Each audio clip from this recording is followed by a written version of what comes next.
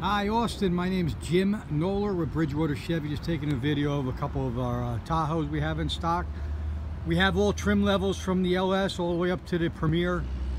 Um, cover anything you're looking for. Actually, this happens to be an LT with the luxury package, 22 inch wheels. Nothing like a Tahoe or a Suburban, they're great vehicles. Keyless entry, push button start heated seats, navigation, heated steering wheel, all kinds of safety equipment, lane change alert, uh, alert seats to vibrate on you, navigation, four-wheel drive, two-speed four-wheel drive, beautiful interior. Second row bucket seats, easy access to the third row. This one has the floor liners. GM just came out with these. They're beautiful. They're great. Really protect the interior.